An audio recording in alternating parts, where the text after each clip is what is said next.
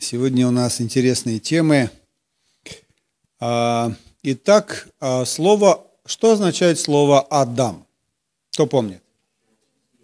А? Земляной. Земной. Земляной. Да, итак, а, слово Адам происходит от еврейское слово Адама, то есть земля. Откуда был взят Адам? Из земли. Имеет ли он связь с землей? Имеет. Аминь. На, на материальном уровне он имеет связь с землей. Из праха ты взят.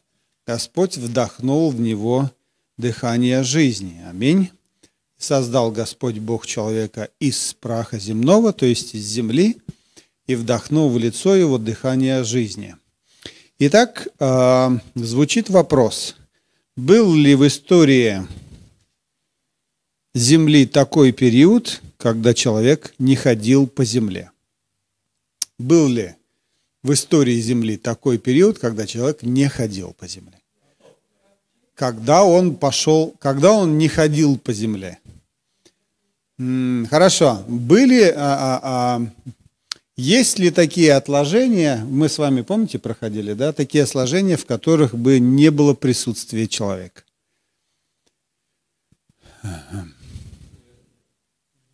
Да, а, а, да, есть, есть такие, да, первый слой у нас архейский, да, помните мы, когда суша всплыла, а, и первый слой, который был поверх, а, поверх скальных пород, это архейские. Это произошло на третий день. Итак, человек был сотворен на шестой день, да?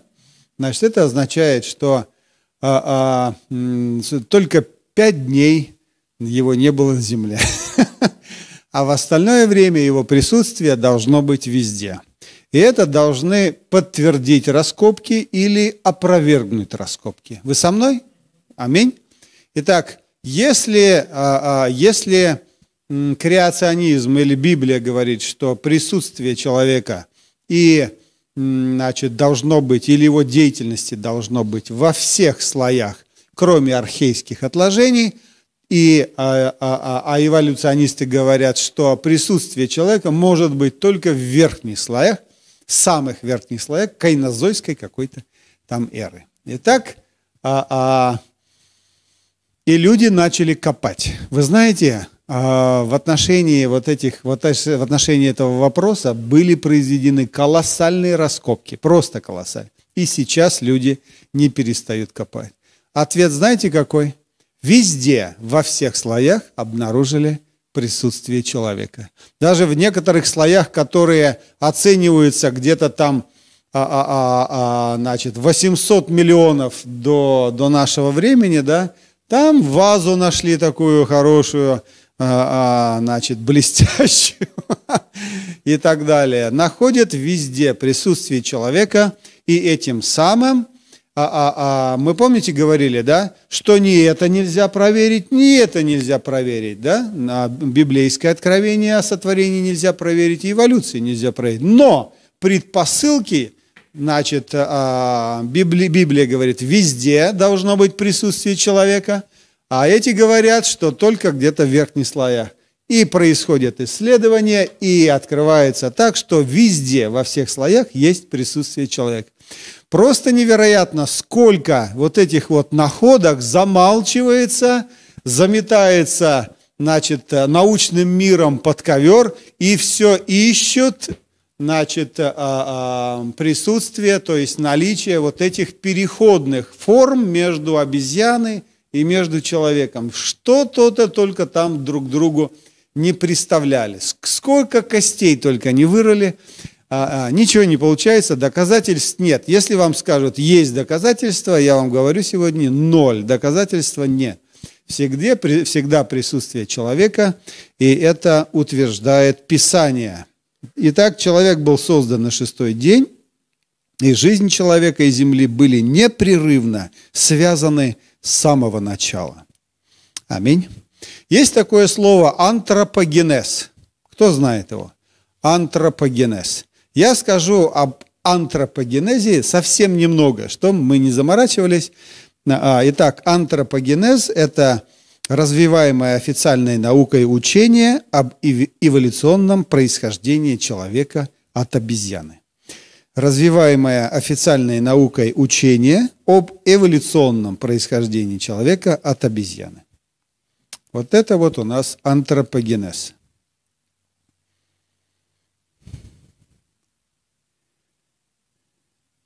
развиваемое официальной наукой учение об эволюционном происхождении человека от обезьяны. Больше об этом я ничего говорить не буду. Все остальное – это бред сивой кобылы.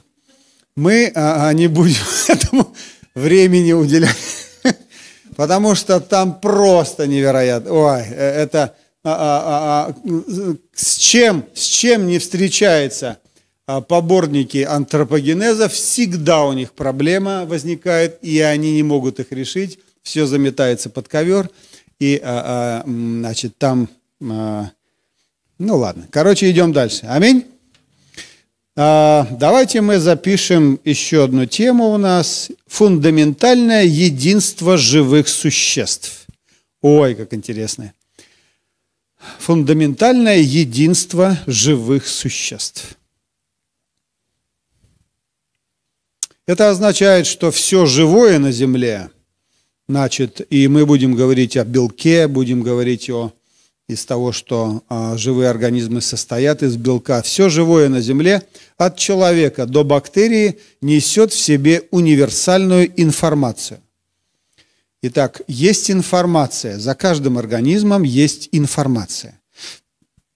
Значит, и она называется единый генетический код единый генетический код. Когда мы видим организм, то мы с вами должны понимать, что за структурой этого организма стоит информация. То есть организм был создан строго в соответствии с определенной информацией для данного организма. Аминь. И мы сегодня это посмотрим. Итак, генетический код или иначе значит, можно сказать на библейский язык, это слова жизни. Слова жизни. Вот это вот информация, слова жизни. А, есть, а, есть четыре азотистых основания. Четыре азотистых основания, которые мы с вами запишем. Итак, и их четыре. И первый из них ад, аденин – аденин, второй гуанин, гуанин, третий тимин и четвертый цитозин. Итак, аденин, гуанин, тимин и цитозин. Или это четыре буквы А, Г, а, Т и С. А, Г, Т и С. Итак, вот они азотистые основания. Мы не будем вдаваться в подробности, что же это такое азотистные основания, мы идем дальше. Итак, они, в свою очередь, между собой образуют связи. Они образуют связи и вытягиваются в цепочки. Итак, между этими азотистными основаниями, значит, есть связующие элементы, и это все вы, а, вытягивается в цепочки или по-другому, это двойная спираль ДНК. Двойная спираль ДНК. Все слышали слово ДНК? А, а, итак, значит, я не буду говорить, что это такое, но из чего оно состоит. Итак, давайте, вот эти азотистые основания находятся в определенном порядке, соединяются между собой, выстраиваются вот в эту вот а, а, двойную спираль ДНК, и, значит, а, а, в это это означает, что информация запис, записывается в этой, в этой двойной спирали ДНК. Нужна обязательная информация. Без информации не будет ни одного живого организма. Итак, хранитель информации или там, где содержится информация, это двойная спираль ДНК. Кто-нибудь видел ее? Она вот такая вот, да? Почему спираль? Да потому что, что она настолько огромная, что ее нужно, что? Чтобы она место заним, меньше занимала, ее нужно скрутить. И, значит, ее размеры и количество если в байтах взять, ну ладно, э, все, все, идем дальше. Это просто невероятное. А, а, сам нет на Земле более совершенного хранителя информации, нежели ДНК.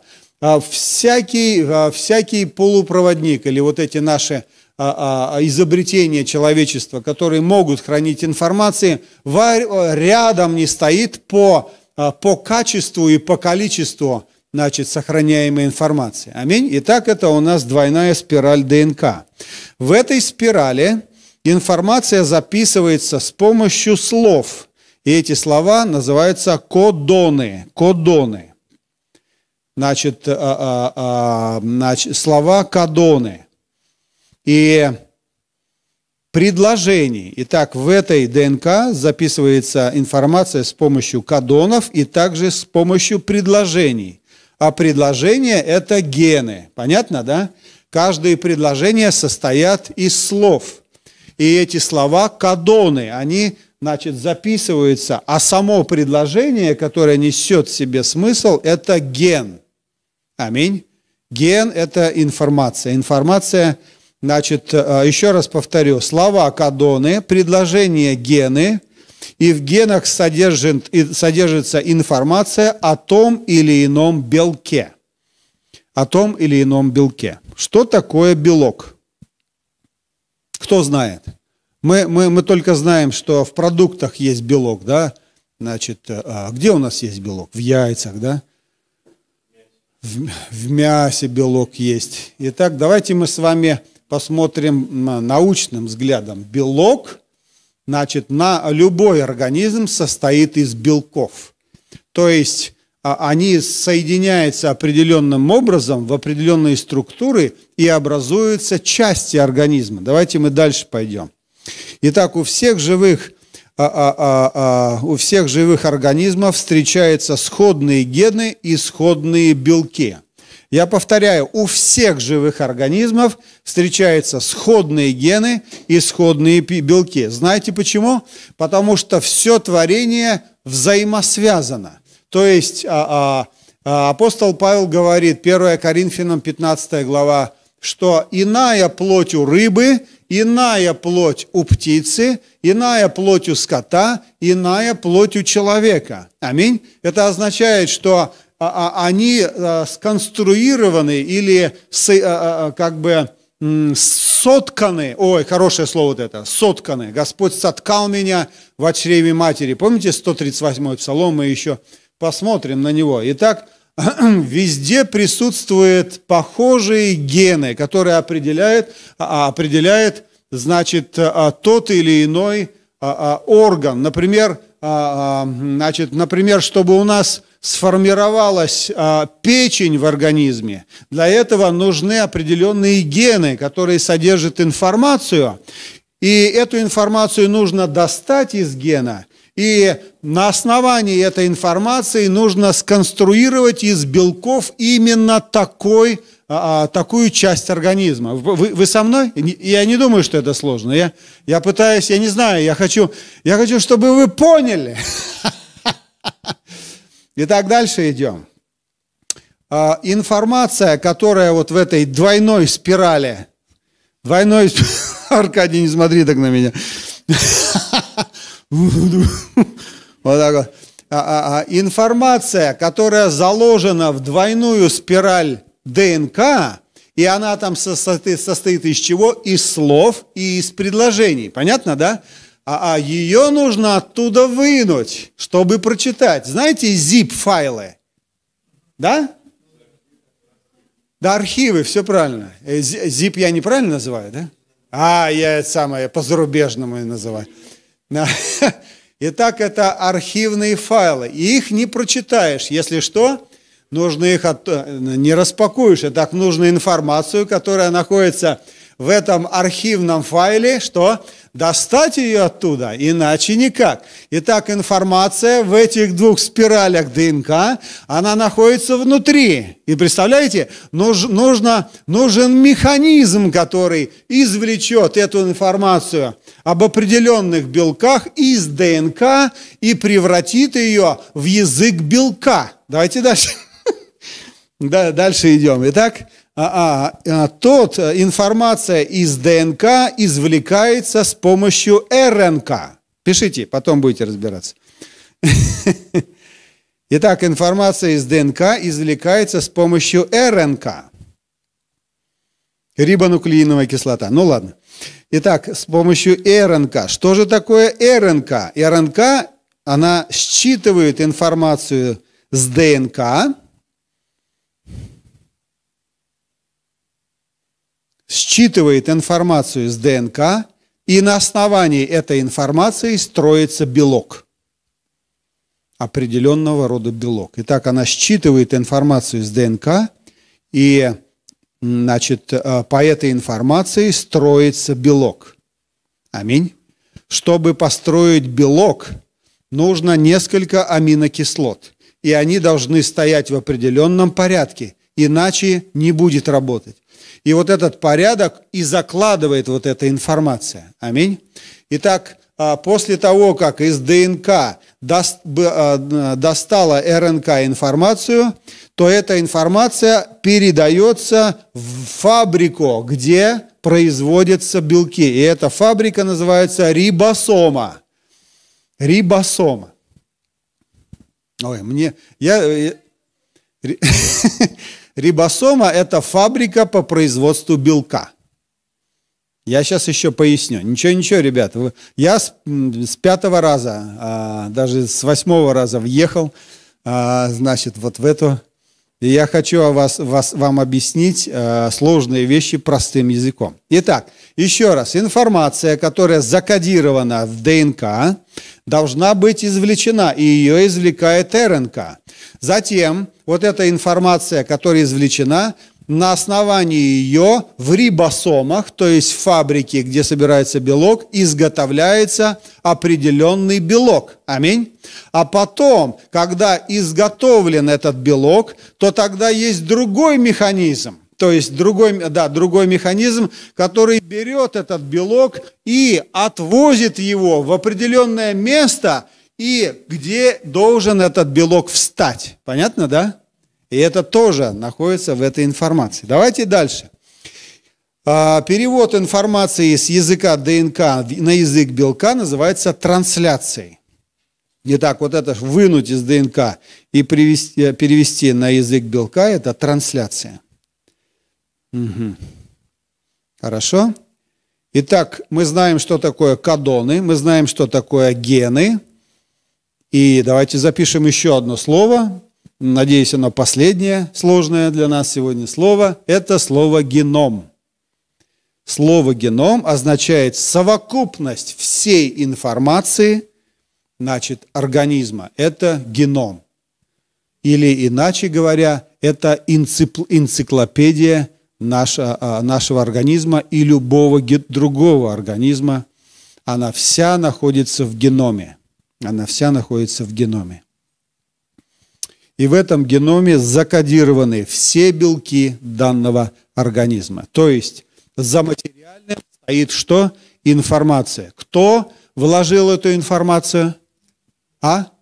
Бог вложил эту информацию, и на основании этой, этой информации с помощью определенных вот, э, вот этих вот структур мы с вами видим, что строятся все организмы здесь, на этой земле, из белка от бактерии и до человека. И поэтому у нас с, а, с животными могут быть а, похожие гены. Аминь. Значит, почему? Потому что наши организмы тоже плоть и кровь. У, у, у, это, у барашка что? Тоже плоть и кровь. У рыбы тоже плоть и кровь. Аминь. Значит, и поэтому человек, а, а, а, значит, человек имеет общность, то есть на генном уровне имеет общность со всем животным миром. Аминь. Только у нас информация заложена о нашем теле. А, кстати, запишите, Псалом 138 у тебя записаны в книге, у тебя записаны в книге твоей, давайте прочитаем Библии немного, хорошо? А, может быть, даже немного. Итак, вот Псалом 138, Давид говорит этот псалом, пишет псалом – а, вдохновленный Духом Святым, и смотрите, что он говорит. Вы, после того, что мы сейчас сказали, смотрите, что он говорит. «Ибо ты устроил внутренности мои и соткал меня где? В чреве матери». Что происходило в чреве матери? Происходило, Господь, да, Господь вот этой из-за вложенной информации ДНК вот эти процессы, и человек что? Становится больше и больше и больше растет. Белки образу, образуются, их относят на свое определенное место, они встают на, встают на свое место, и все это приобретает очертания. Белки от почки стоят на своем месте. Аминь. Белки от мозга стоят на своем месте. Белки от, а, а, от костей стоят на своем месте. Все на своих местах. И человек получается, и что? И человек получается, он, он выходит, и он уже сформирован и, а, а, значит, продолжает дальше расти. Из-за чего он растет? Из-за вот этого вот непри, непри, непрестанного производства белков. Мы с вами питаемся пищей, которая содержит белки, правильно, да? И из этой пищи также формируется определенные, формируется и, а, а, а, значит, а, а, определенная энергия, и также белки, и продолжается строиться наш организм. Аминь. Кстати, наш организм обновляется, клетки, которые состоят из белков, аминь, клетки, а у нас их, я, я сейчас вам скажу, у нас их с вами, нет, я не скажу, потом я скажу, нет, сейчас скажу, организм человека состоит из пяти помножено на 10 в 14 степени клеток. Итак, 5 умножить на 10 в 14 степени клепа. Я не знаю, это, трилли... это, э, э, это что-то там, ну, короче, это много нулей. И представляете, в течение 7 лет у человека происходит полностью обновление всех клеток организма. Вы представляете, да? Это, это настолько а, а, о Духе Святом сказано в одном из псалмов, что ты обновляешь все лицо земли. Это процесс идет во всех живых существах, идет процесс обновления клеток. Аминь. Если бы не грех вошел в жизнь человека, а с ним вошла смерть, то это обновление продолжалось бы что? Постоянно. И человек был всегда молодым. Аминь. Но из-за того, что грех ужалил человека и смерть вошла, то, то произошел сбой. И Господь говорит, ты смертью умрешь. И что стало с организмом этим? Адам прожил 930 лет. Вы представляете? 930 лет. Кому 30 лет сейчас? Дэн, тебе еще 900 лет жить. Ты понимаешь? Итак, Адам прожил 930 лет, и что произошло с его телом? Что произошло? И умер он. Умер. Все, капут. Он умер от старости. Тогда ковида не было еще. А, да, кстати, хороший, хороший, хороший вопрос. От чего он умер, да? От чего он умер? Вот этот сработал, сработал вот этот сбой, который был принесен грехом, и по Слову Божьему – а, кстати, знаете что? Ни один не перешагнул за тысячелетний рубеж. Знаете почему? Ой, это другая тема. Все, мы уйдем сейчас туда и не вернемся.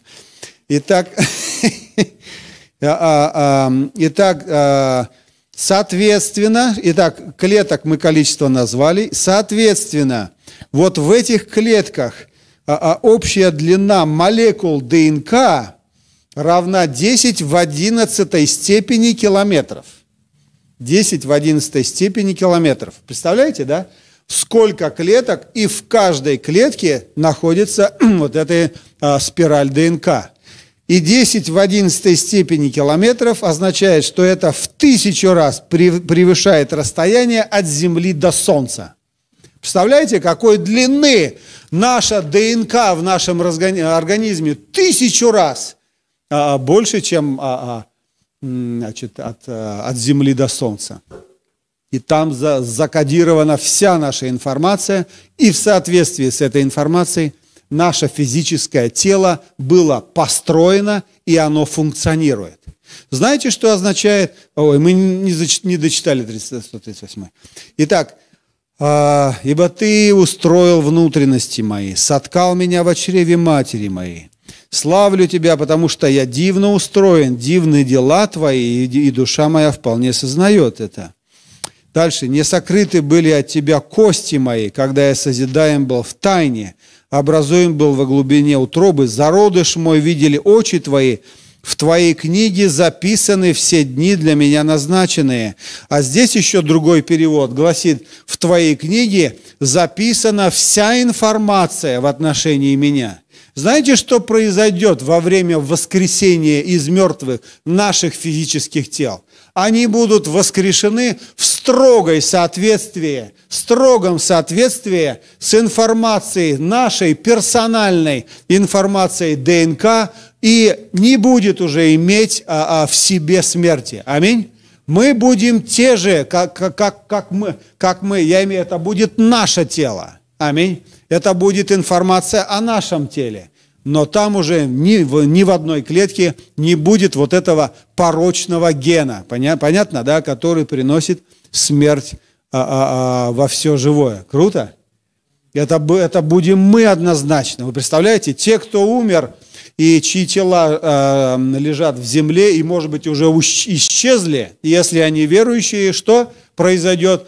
Во мгновение ока при последней трубе мертвые воскреснут. Это означает, что они в строгом соответствии воскреснут на основании генома, который формировал, сформировал в утробе матери их организм. Давайте поаплодируем Господу.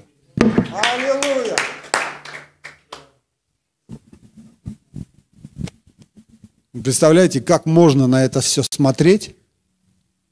Вот это вот сложнейшие организмы генной инженерии и сказать, ну это сам, само собой как-то вот бабах, только здесь кто-то бабахнул. И это вот так все чик и, и сложилось все, и все функционирует. А, а, и больше вам, нам об этом вопросов не задавайте. Представляете, да? Почему? Потому что всякий человек, который столкнулся вот с этим процессом формирования белка и организма из информации ДНК, у него, он просто Христос у него вот так стоит. Аминь. Вот так стоит. Камень стоит, преткновение. Аминь. Перед всяким ученым, который занимается этой проблемой. Христос так стоит. Нужно что сделать? склониться и сказать «Аминь, Господи!» и... Но знаете, что происходит в, э, во многих случаях? Что, что происходит? А, нет, это самое. Туда идет, опять копается, копается, опять Христос стал. А, нет, нет, это самое. Опять идет, копается, копается, залезает куда-то, опять Христос стал. Представляете?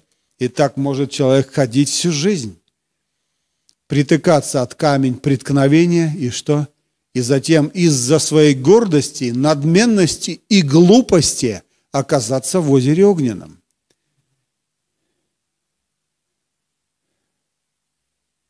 Мы, мы с вами не гении здесь, да? Я не все. И Господь нам открывает такие вещи, которые сокрыты от людей высочайшего уровня интеллекта. И Иисус в 11 главе Евангелия от Матфея говорит, «Славлю Тебя, Господи Боже, небо и земли, что Ты что? Сокрыл это от умных и разумных, и что? Открыл нам, младенцам, которые просто рот открыли для принятия слова истины, и возрастают, и возрастают, и возрастают. Аллилуйя. И восхищаются творением Божьим а, на, на уровне вот этого вот материального мира. Это, это вы знаете, ж, а, а, жизнь, ну, все, все, все, идем дальше. Итак, а, а, запишите, белок – основа жизни. Белок-основа жизни.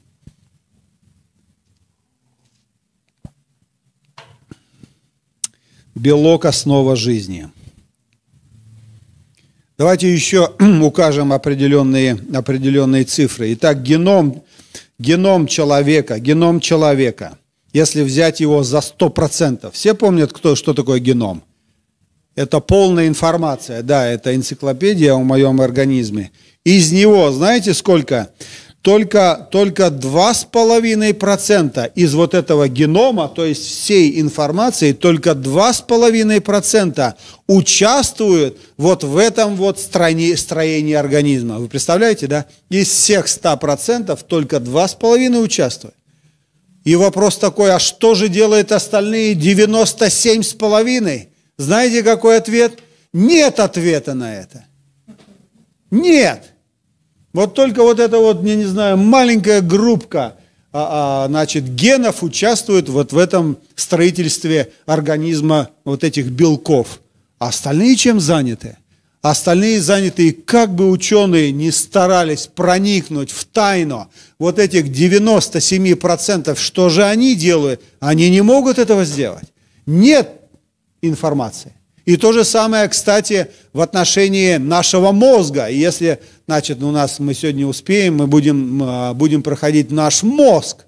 Это вообще невероятная вещь. То, что у нас находится здесь а, за, а, внутри, это, это просто, это чудо просто. Итак, идем дальше. и скоро будет перерыв, не переживайте. Итак, а, а, давайте мы скажем несколько слов об иммунитете человека. Что же формирует иммунитет человека? И некоторые из нас здесь им очень интересно. Вернее, нам всем интересно, да? Что же формирует иммунитет? А что такое иммунитет? Вы знаете? Защитная, все правильно, защитная реакция организма на внутренние вызовы и на внешние вызовы. Итак, иммунитет – есть три уровня, то есть три линии обороны у организма. Три линии обороны.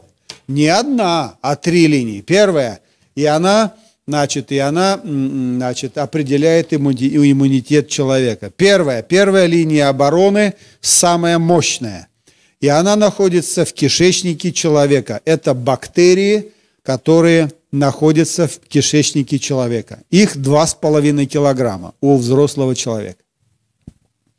Пишите, пишите.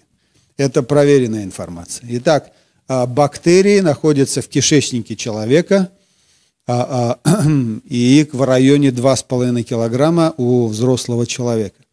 Для чего же нужны эти бактерии в кишечнике человека? Правильно, да? Мы-то думаем – съел, пообедал, потом, ну ладно, это самое, там, там все что-то происходит, да? Итак, а, человек, вот э, это как бы у нас взаимосвязь. Человек обеспечивает бактериям комфортную среду в кишечнике, а бактерии, в свою очередь, в, этом, в этой комфортной среде переваривают пищу, поступающую извне. Да, это процесс переваривания пищи – это действие бактерий. И снабжает организм полезными, незаменимыми веществами. Итак, первая линия обороны и этот иммунитет, который формируется в человеке, это вот эта вот а, а, среда, среда, значит, внутри кишечника – и а, а, она иначе называется... А, знаете такое, такую болезнь, а, дисбактериоз? Знаете, да? И теперь вы знаете, что это такое. Это нарушение вот этой вот среды, кишечной среды, где, значит, бактерии находятся, нарушение функционирования вот этой вот среды. Следующая, вторая линия обороны. вторая линия обороны – это иммунные клетки слизистой оболочки кишечника. Итак, иммунные клетки слизистой оболочки кишечника, слизистой кишечника. Это вторая линия обороны.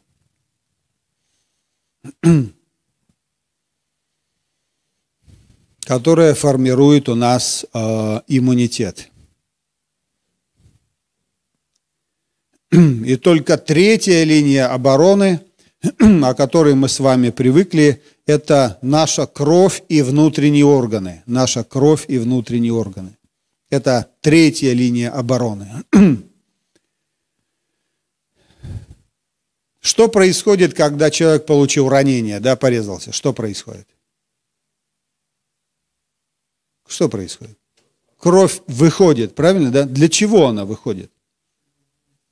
Все правильно, чтобы вынести всю инфекцию. Потом дальше что происходит, когда значит, а, а, кровь, а, кровь прочистила рану? Что происходит? Происходит свертывание, правильно, да? Это означает, рана запечатывается. От чего? От, от инфекции, которая находится вне. Аминь. И мы с вами даже не замечаем, что когда рана у человека, то сразу невероятное количество вирусов и бактерий проник, стараются проникнуть в человека, но там стоят лейкоциты, эритроциты и тромбоциты, и они, в свою очередь, э, самое, отбивают атаки, кровь выходит, прочищается рана, и что? И происходит свертываемость. Вы знаете, а, а, а, есть такая болезнь, несвертываемость крови. Если человек там где-то раз – порезался, кровь идет, идет, идет. Очень важно, чтобы кровь свертывалась, а когда она свертывается, получается, мы называем ее болячкой. А потом под этой болячкой формируется что? Сращивается кожа, то есть соединяется кожа или шрам. А если кожу не соединить, да, если ее не шить, шрам будет, но все равно это кожа на этом месте, и потом болячка, бац, отлетела, и, а, а, а, и раны нет. Аминь. Кто это? Это вот эти вот. Но до них есть вот эти вот первая, вторая линия обороны. Это наша иммунная система. И там она закладывается. И от того, какая среда в нашем кишечнике и слизистой, зависит наш иммунитет. А кости, в свою очередь, о которых Библия говорит очень много – все кости мои сказали, велик Господь. Аминь. Или, или это самое, а, а, а, Господи, а, кость праведника не сокрушится. Или тук костей, да? Как это, как это может тук костей? Или они же не, не, самое, не обрастают жиром, правильно, да? Нет, когда тучные кости, то тогда, а кости являются а фабрикой по изготовлению кровяных вот этих вот телец, которые в свою очередь участвуют в третьей линии обороны и, и, и гасят там все эти, а, а, всех этих лазутчиков, которые хотят проникнуть в наш организм. Аминь. А, а, а, ну, я думаю, что я думаю, что мы перерыв должны сделать. Благословит вас Господь, перерыв, да.